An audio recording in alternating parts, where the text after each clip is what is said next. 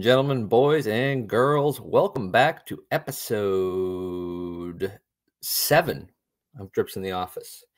Now, normally I'm joined by John and Warren, but he's out in Jamaica, Jamaican me jealous. okay, we can cut that. Oh, I'm in the Uh, right place. You're in the right spot. So we brought in a very special guest, blind Mike Geary. Mike, you, Mike, Mike, you. Mike, thank you for joining me on this fine evening. It's an honor. I remember you said once on the show that you are a massive fan and listen every week.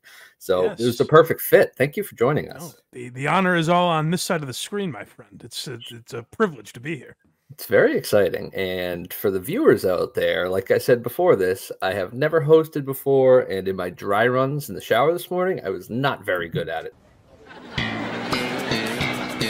so let's hope, uh, we'll hope things pick up from here. And But you've got you've got yourself you've got yourself in a nice spot where like really the only failure of this show would be is if you were like dynamite. Like if you were Yeah. off the walls crazy. That's the only way people would be like, "What the fuck is going on here?" You know?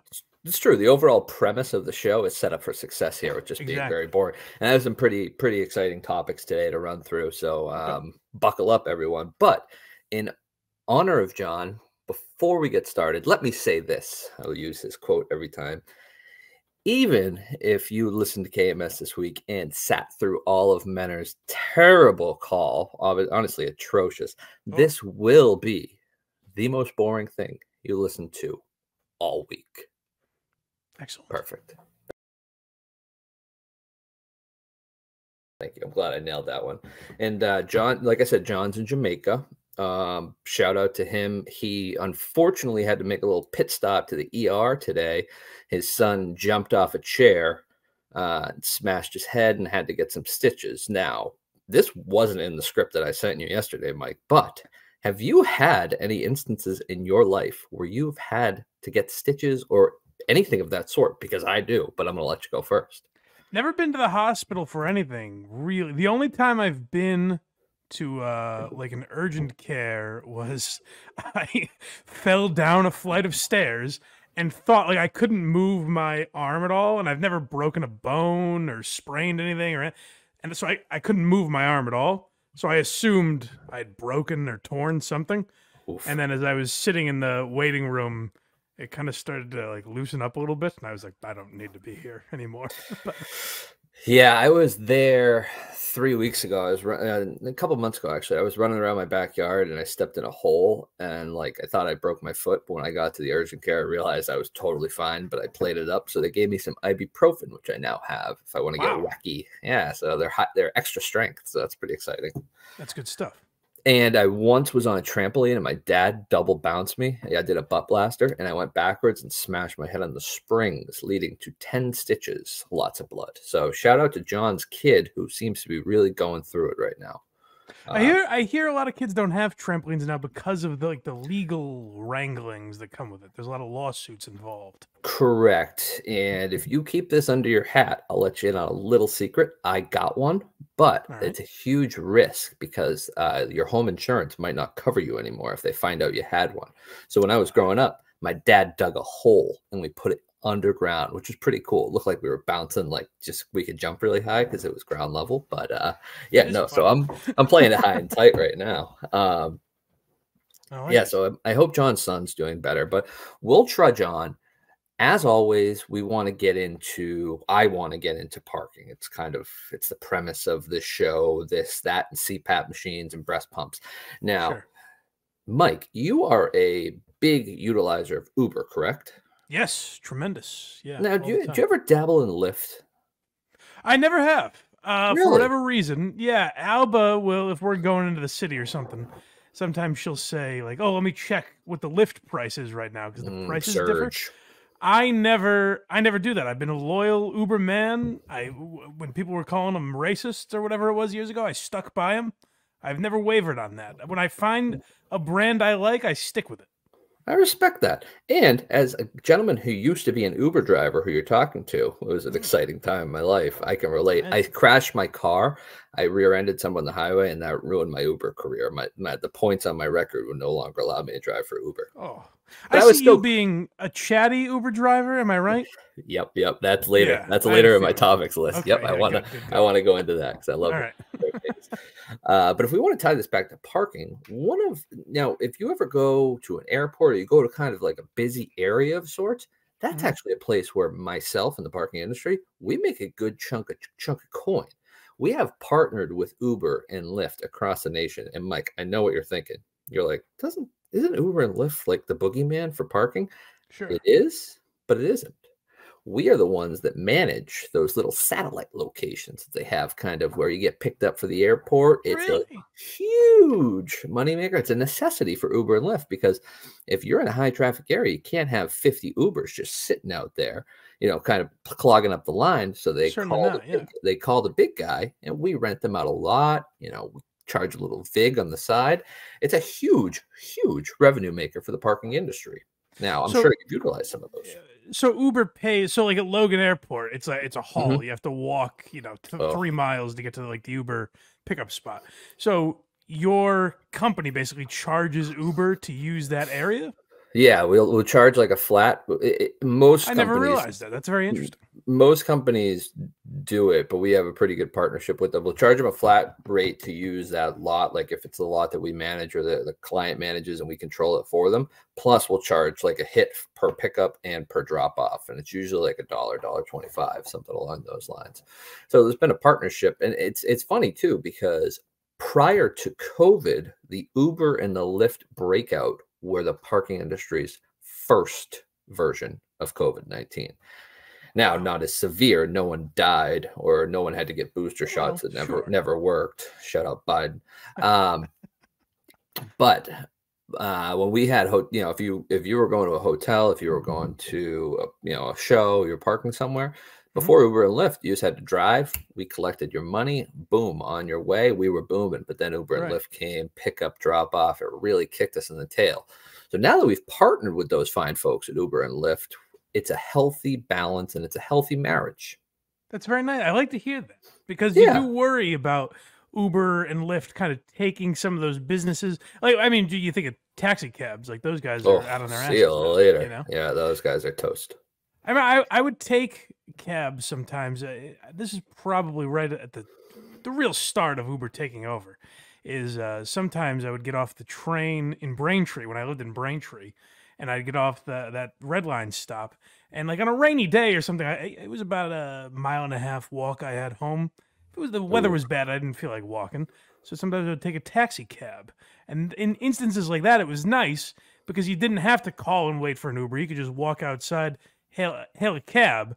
Those situations aren't around anymore, really. It's disappointing. No, they're really not. And cab Ubers and Lyfts, they live off customer reviews too. If you get a low Right. customer score, you're totally toast. Those Uber drivers, those cab drivers, they don't give a fuck. They'll just they'll let you know how it is. They'll they'll be they'll be rude, beeping on the horn. They don't care about your customer reviews. But I will say now, when you take an Uber to the studio, I don't know how far away you live, it's probably like 20, 30 bucks, something like that. Uh, yeah, sure, that's a good range. If a ca- in a cab would probably be like 40 or 50 so cabs have never they, i don't think they've caught up to the pricing of uber it probably doesn't work for their model that's another topic for another episode i gotta jot that one down because that could be dynamite looking at the prices of uber's Lyfts compared to cabs and limos and liveries the whole nine Absolutely.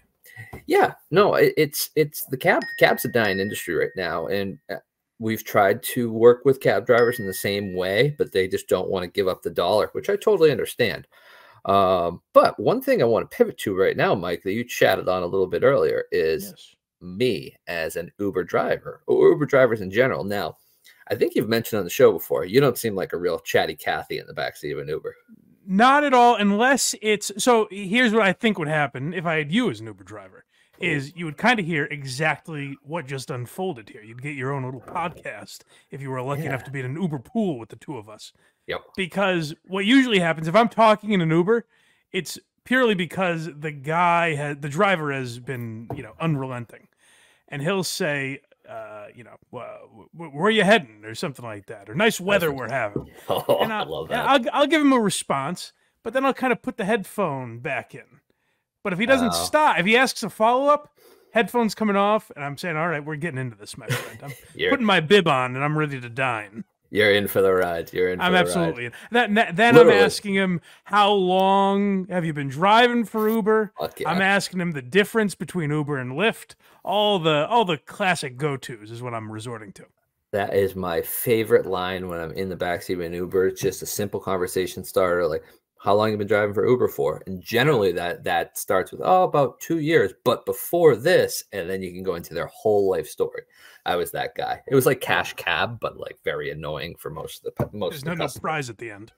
I actually had terrible customer reviews for that reason. I remember that.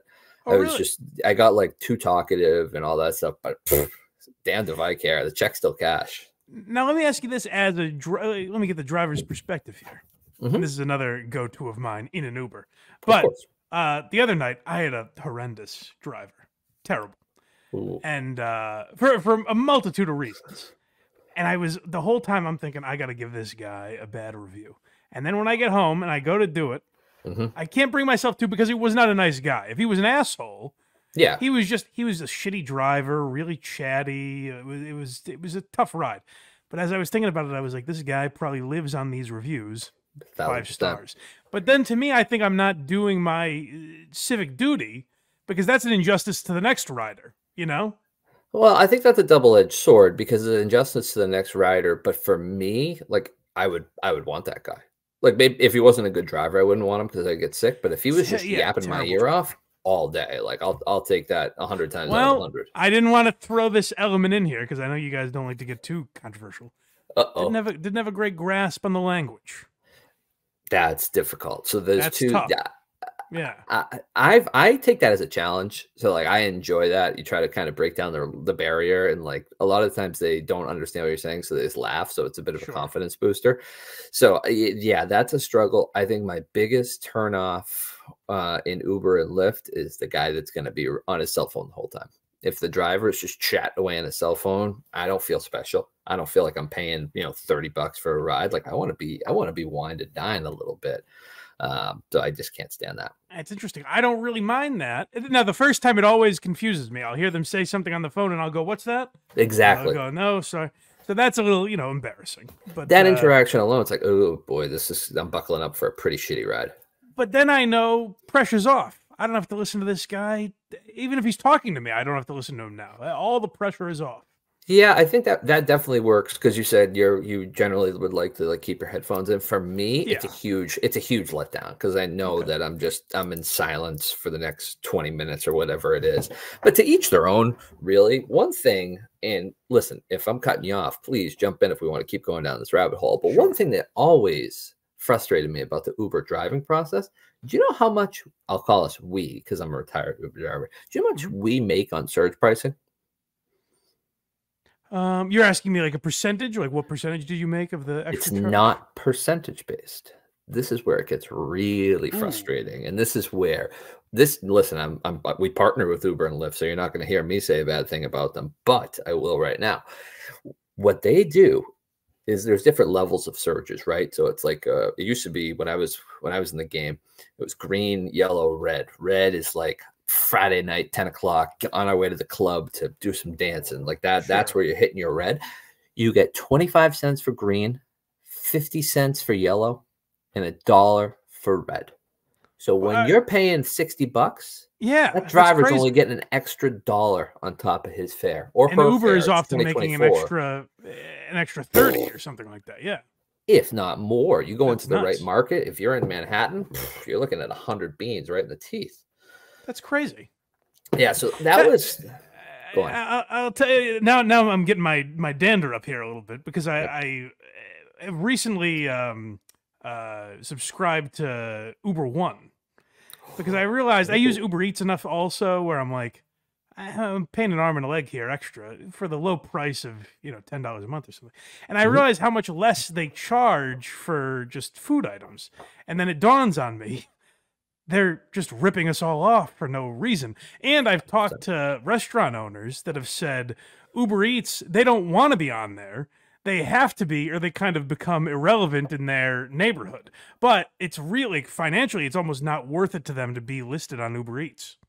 No, there's there's no benefit to them. Like exactly that. I I've it's funny. I've had this conversation, and we're going to go back to the language barrier again. I had this conversation with the local Chinese place I have down the road. Shout out the Islander. It's one of my favorite pre. Well, I'm I'm on a diet now, so I, I don't go there anymore. But pre diet, that was one of my favorite places, and they're not on any of those apps. And I asked the lady once, and we had a you know, it was a tough combo just due to the barrier. But Sure. she said this. She said the same thing. It's not worth it. It's not worth it for them. They have their customer bases. Now, I will say, you, I, I totally understand your logic, and I totally understand people's logic for upgrading, getting like the whatever it is, Uber One for Uber Eats. Yeah. I got I got a two year old upstairs. Anytime we get takeout, it's a free thirty minutes just to coast on the free road, not get yelled at, not have to change a poopy diaper. Oh, sure. Yeah. Well, So I'd love to. The, the, the problem with me is I, I generally get it. I mean, we'll get it. Uh, me and the lady will get it for takeout here and there, but it's more often when I'm alone. I get it because I have no, you know, real transportation. That's fair. No, total. It makes all the sense in the world. One thing we started doing recently, rabbit hole after rabbit hole tonight, Mike. One thing we started doing recently is I think it's called like Go Puff, not Go Puff, but they it's they deliver your groceries for you. Okay. So we signed up for the year, ninety nine dollars. Get this. So th- eh, this makes my wheels turn on kind of like the numbers behind all of it. The hundred dollars, ninety nine dollars you you get, so you get free delivery and you just have to tip the driver. You also get a Fitbit and a free year subscription to Peacock.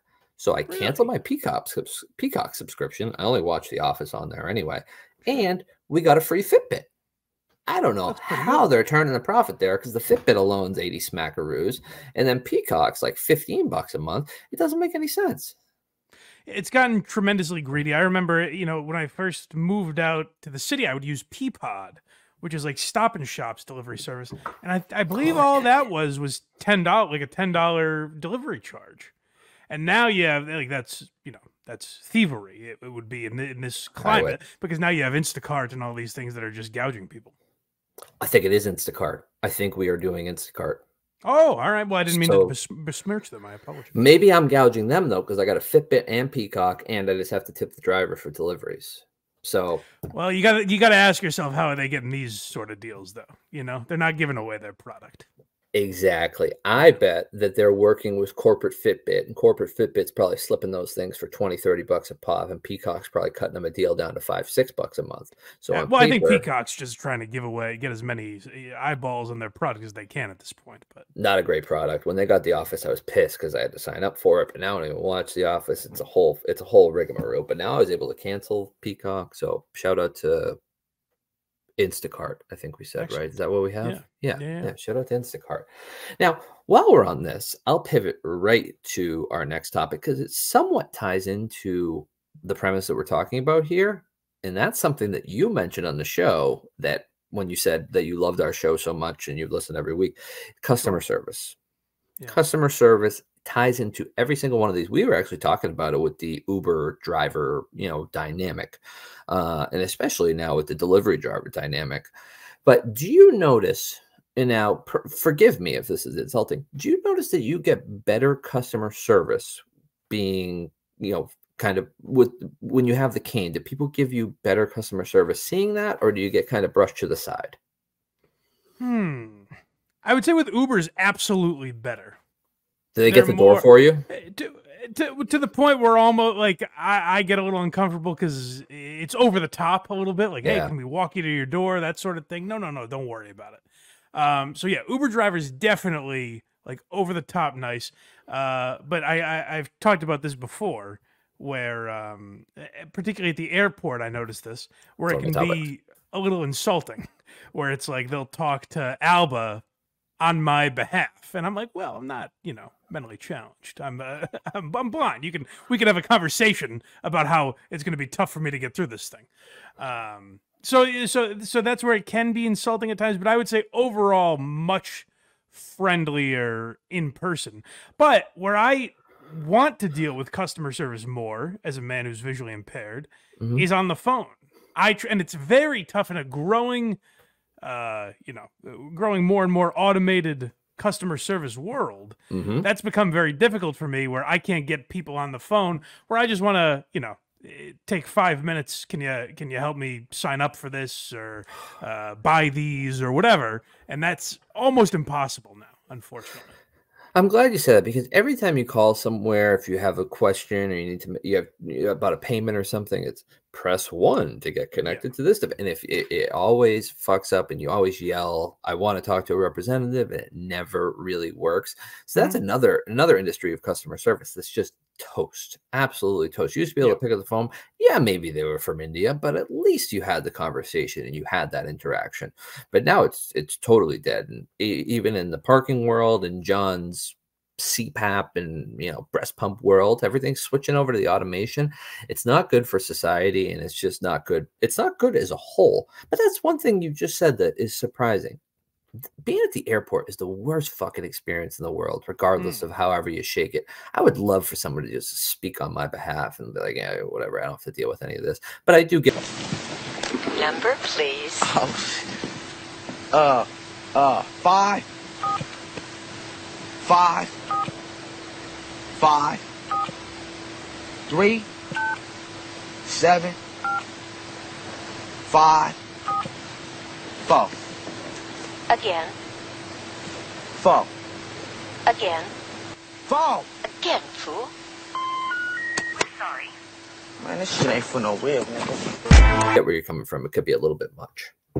Yeah, it feels uh, tad emasculating or dehumanizing, you know, because you're because someone like me, I'm already like uncomfortable with the fact that I need assistance. So at least talk to me about the fact that I need not, you know, who you think my handler is. That's fair. Um, but but oh, overall, I'll take it because it does, you know, expedite the process.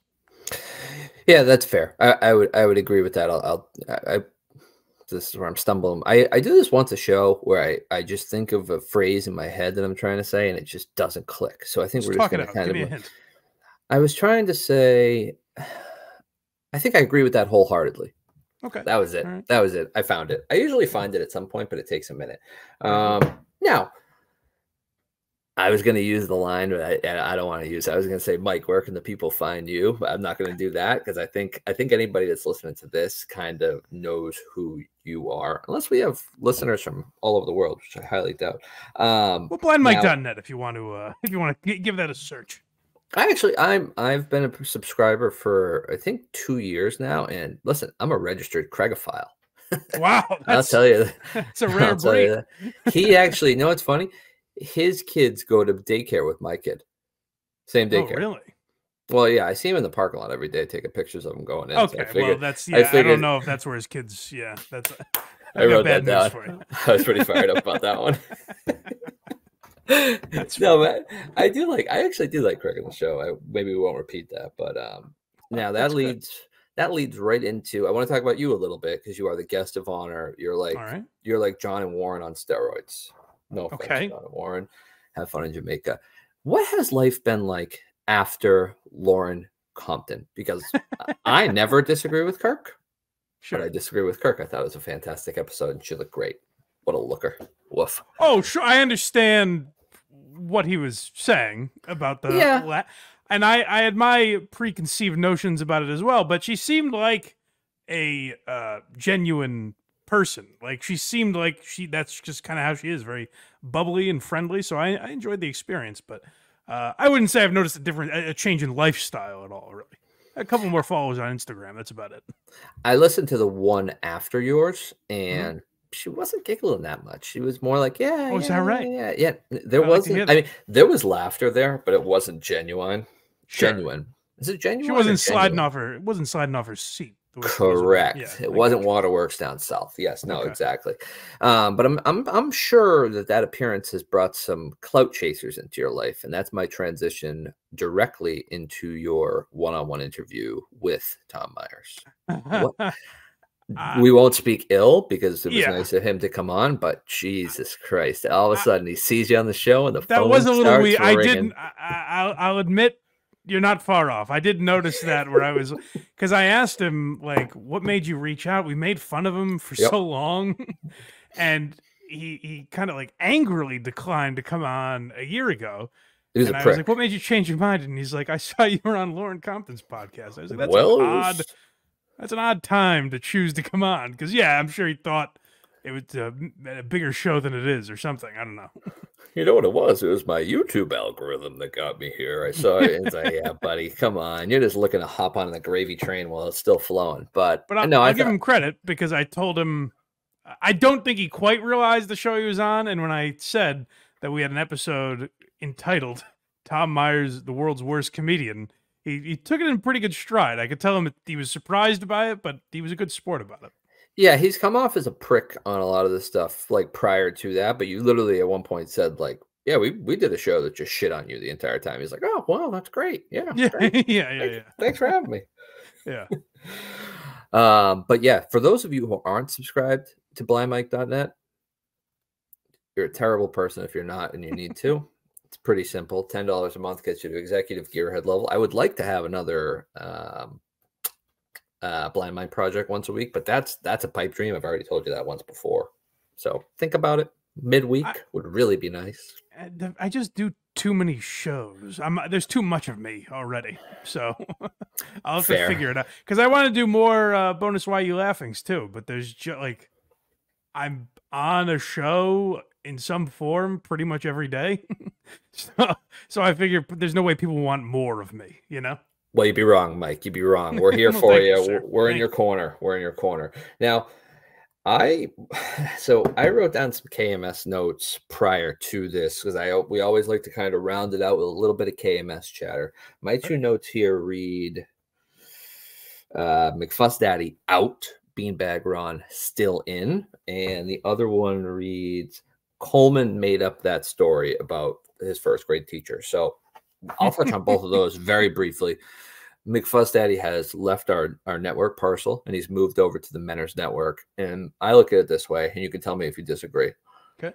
When Hitler was reigning over Nazi Germany, there were still people in Nazi Germany who were good people that didn't really want to be involved with his antics, but they just found themselves there. That's kind of how I see McFuss Daddy. He's working with Hitler of sorts. He doesn't have the height of Hitler, but he's just kind of there. So I'm not totally out on him. And Beanbag Ron has stuck around. He is still in the group chat, and shout Yeah. out to Beanbag Ron for that. The opposite of how people uh, kind of predicted that, right? Very much so. Yeah. Yeah. They Beanbag Ron was not a fan of mine. They had a week of a month of hate dedicated to me uh way early on, which was an honor. Now that we're friends, I'll say that that was an honor. Yeah, I didn't think he would stick around McFuss would leave, but such is life. You can't hold grudges. You can't be four foot nine, live in a different country and be an asshole. You know what I mean? Yeah, I'll say uh, McFuss Daddy is a top tier clug maniac. Oh yeah. over on uh, over We've on talked Patreon. about it. And I, so I asked him today, uh, before we started Quincy, I, I said, I'm going on with the drips tonight. Is there anything the people should know? And he gave me a very political answer, which seems unlike him. A very polished Ooh. Sort of. He's like, you know, I love all the people there, but I'm doing what's right for me. It was kind of a, you know, it didn't feel like a very McFuss daddy answer. I was surprised by it. So I don't know what's going on. I'm a little suspicious about it. Um, but it might be that McFuss Daddy's a very nice guy. He sees what's happening to Menners and he kind of feels bad. You know, that that could be an element of it. True, it's tax season too, so maybe he got killed in taxes this year, and he's going to use this time spent with Menners and his team as a tax write-off for a charitable donation. It could be that. Now, is uh, you compared Menners to Hitler? Was that your experience over there? Did you have any run-ins with him in in particular? No, listen, I've been super fortunate throughout my career, uh, from startup to now. Um, no one make fun of that. I wasn't kidding. It's not. A, I'm kidding. It's not a career, but I started with Kirk, and I'll die with Kirk. Drips in the office started on. course, yeah. yeah. I've never, I've never worked across the street. I've been on a couple of the Mike and the Minifans hosted by BA, which is a really good product now, especially. Uh, but no, I've never really had too many run-ins with him. I did his show once, the um, Minifandom, which I think they've put out an episode, I think four or five months ago. Uh, no, but no, not many direct dealings. Just kind of seems like a prick. Okay. Uh, so my second point on that, uh, Coleman made up that story about his first grade teacher being drunk at a bar. Uh, yeah, I, I mean, I, I didn't. I didn't get it. Nope. His he was some girl was with her and said, "I haven't talked to Coleman in years. Let's call Coleman." Didn't it just didn't sit right? Well, my question is why why make that up though? Just to have something to say?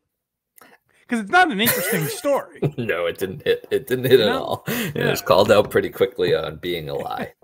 uh, speaking of being a lie, that'll be a fantastic transition. And I, I'm not going to go in far too much detail on this because you're in on Thursday with my with my good friend Mike Mutnansky. It seems. Um, so I'm sure you'll unpack this a little bit. But I think that I've listened to it three and a half times already today. That was one of the best episodes of all time, in my opinion. yeah, I, I think that I, I was trying to think of this earlier. Of anyone that hasn't worked for the show at some point, I think Mick might have the best moments. Does that make sense the way I said that?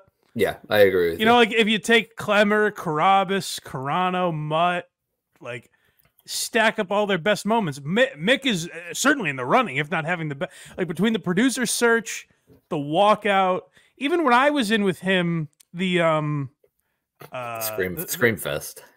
oh, no, I don't. Oh, I didn't even mean that. Yeah, that that's another good one. That's good. Yeah. Um, no, I meant the the one where um he's talking about the brother leaving him two hundred dollars oh my god. there was that and we talked about something else with the girlfriend and those two moments like uh, were just so fun to like riff on and go back and forth talking about what a psychopath he is and uh you know yeah like like you said i'm sure we'll talk about it a little more on thursday so i don't want to get too much into it Mhm. but he does he does have some good moments now i'm sure he'll hear that and either Oh, yeah. think that i'm insulting him in some way or that he's Yep. owed a job or something but but it's a comp i mean it is a compliment That's the beauty of that's the beauty of Mick. That'll that'll definitely be taken as either a slight or he'll walk in and be like, "Yeah, I listen to Drips in the office. I heard Mike like Kirk. You're crazy for not bringing me on board. You're crazy."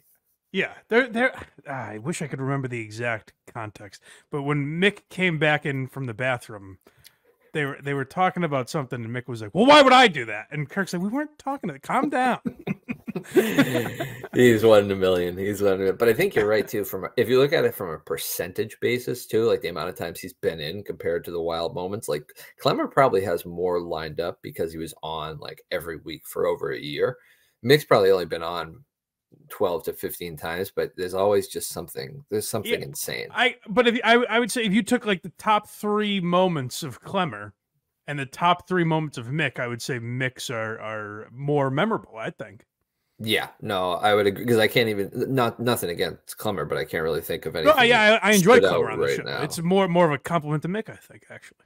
Makes a home run hitter. That's that's that's the bottom line here. But Al did grow on me. I hated Al forever because I'm loyal. I'm a loyal maniac. But Al grew on me. Seems like a nice guy.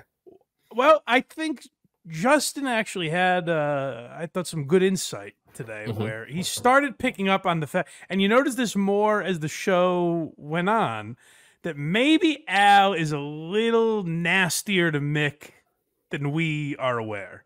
Like the joy that he took when, at the very end of the show, when Kirk started bringing up, what was it? Um, he brought up a couple of Mick topics. Oh, like the Vegas podcast, and there was one other one. And you could tell Al got real enjoyment laughing at that. And that's when I started to think like maybe he's more of a dick to Mick than than he's been letting on the previous two hours. Justin, I do remember Justin saying that. It's a it's a good point too. But especially with him saying that he bullied him growing up, maybe there is something underlying there. I mean, listen, he only got paid like 250 bucks for bartending a wedding. Like that's kind of shitty. Yeah. Well, that's where it's crazy. That was that was nuts in itself. But yeah, if we're just basing it on the podcast, then Al seems like a delightful guy, and I don't understand what that. But there might be. I think there might be more there. Seems like a real peach, but yeah, there's there's probably something more there. But I I'm I'm excited to hear more of your takes on it on Thursday, and I'm excited to hear more about Mutt, who I heard maybe is joining the network but doesn't really want to. I think he'd be a I think he'd be a star. Plus, we'd like to get him in the group chat. I think you're eligible for the network group chat now too. I'll let the boss man make that decision, but uh, it's a real hoot. Well, I don't. Yeah, I don't understand Mitch, Mick, uh, Mutt's Mick uh, Mutt's reluctance to uh, make like an effort to be involved in Barstool in some way. That's the main thing. Where Kirk's basically like doing all he can. I- You know, Kirk's not gonna like literally hold his hand, but like saying to Portnoy, "Give this guy a job," is about as much as he can do, and Mutt doesn't seem to give a fuck about it. It's very strange. He said it today where he was like, if you put even if you put out a 10 minute show every week, like the lunatics like me and Ziggy and all those guys will quote tweet it to like Dave probably 150 times a day. Once something's in Portnoy's brain, there's a good Yep. chance in it coming to fruition. You know. Yeah, no, it, it- even in the comments when he was doing the David and Maryland thing, he's like, "Why is everybody saying hire Mutt? Like he's it's fresh, Mutt. If you're listening, come on, join us. Be great. We'll have you on the show, the whole nine. It'll be really Well, yeah, exciting." but I, I, I'm honored that I got the ask. But as probably your biggest fan, why isn't Mutt in this seat tonight? listen i i i don't i don't necessarily disagree. My friend john and warren reached out to me and said i got blind mike lined up. My face Okay. lit up like a christmas tree. I'm not going to Well, complain. what i was planning on doing while john was away was i was just going to do i was going to do a solo show where i made up stuff about um what's going on in iran to infuriate people because i don't know any of it. And I, I was, like that. yeah, yeah, and I was gonna break down um, the Houston Rockets starting lineup. I'm not a Houston Rockets fan, but I was just gonna try to clog the airways for a half an hour. It wouldn't have gone well. As you can see, I'm not a born host, so I, I don't think it would have gone great. But when John sent that message, I was elated, Mike. I was elated. Okay, but yeah, well, Mutt, Mutt will be be next. Mutt will be here um, next week. Oh, good. All right. All right. As long yeah, as that, it's coming out.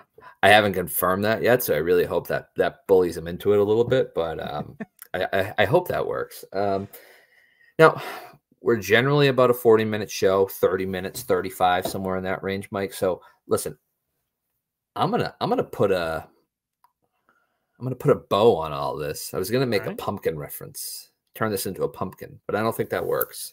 That's a callback. No, yeah, Um, not quite, but I like where your head's at. Yeah, the ADD kicks in like at the 30 minute mark and it really turns into a disaster. But um Mike, thank you for joining me tonight. This was never in my wildest dreams, I'll tell you that. Absolute treat. I'll be there on Sunday in the live chat chatting it up with Electrifra. She she's moved over to KMS. Have you noticed that? She's in all the YouTube chats. That lady seems whack. Oh, no God. offense to her. She's great. Oh yeah, she's one of the uh, today in the YouTube chat. She was like, uh, "The intro sucked. I could really help Kirk out." I'm like, "I don't think you understand what Uh, you're yeah, doing don't think- here." Yeah, Jesus Christ. Yeah, she's something else. Everyone but shut up. just stay in your lane, lady. Yeah, Stay in your lane. exactly. Uh, but in all seriousness, Mike, thank you for thanks for coming on. I appreciate it. Uh, it was Always nice pleasure, chatting buddy. with Thank you. you for having me. blindmike.net subscribe where you why you laughing blind mike project that thing with carl who i'm a little iffy on um, Who are but these socials? Yes. who are these socials? Yes yes. Um, uh, carl i'm sure he's a nice guy. I'll, I'll get there. But as always folks thank you for tuning in and lights out